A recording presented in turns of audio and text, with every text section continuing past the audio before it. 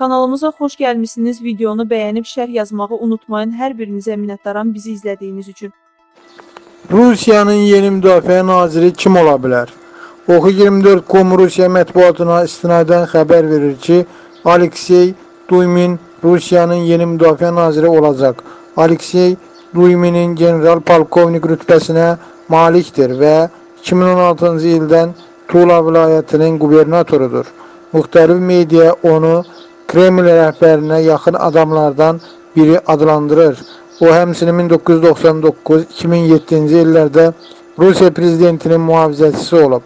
Bir sıra mənbələrdən əldə edilən məlumata görə Dumanın Rusiya Federasiyasının müdafiə naziri vəzifəsinə təyinatı gələn həftə elan oluna bilər.